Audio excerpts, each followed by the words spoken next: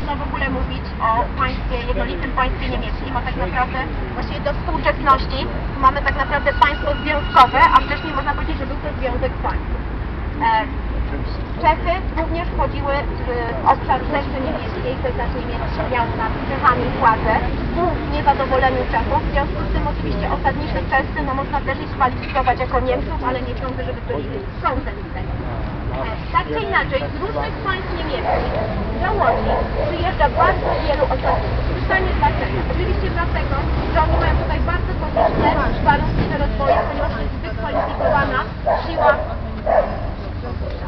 Nowi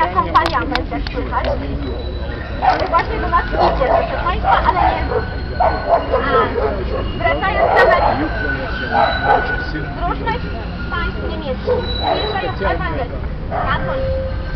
Tak naprawdę tutaj trudno mówić o Niemcach jako masie Niemców, e, którzy tak naprawdę bardzo szybko się w ten koloryt miasta komponują, ładnie mówiąc, nie tylko w obszarze tego, co będą budować, ale tego, jak będą się czuć. Są to Lotermen, to słowo, które tak naprawdę określało każdego bez przynależności, można powiedzieć, do konkretnego kraju, ale z przynależnością do miejsca, do Łodzi. To jest ta wielokulturowa Łódź. Tutaj liczy się kapitał, tutaj liczy się pomysł, tutaj liczy się ciężka praca, trochę, trochę szczęścia i czasami trochę też, że tak powiem, jakiś.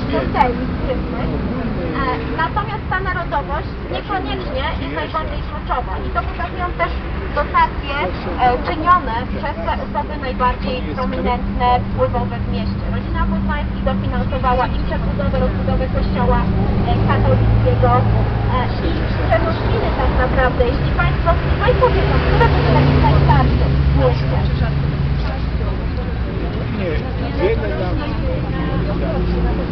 Blisko, to tam, nie, najstarszy, Dobrze, kapliczki. Jeżeli spojrzymy na łagietniki, tak, kapliczki są jeszcze starsze, tam Państwo się mogą udać.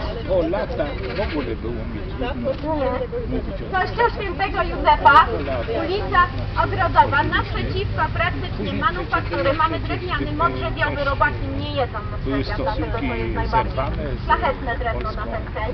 Kościół, który został przeniesiony w z dzisiejszego placu kościelnego, dokładnie tak, Burki Plebańskie, tam pierwszy kościół, pierwszy razy, średniowiecznych. ka- za A to jest serce miasta. I oczywiście legenda głosi, że pracownicy z Poznańskiego odpowiednio zmotywowani w ciągu jednej nocy rozebrali ten kościół i przenieśli go na ulicę Ogrodową. Jak Państwo się domyślają, procedura ta zajęła im znacznie więcej czasu.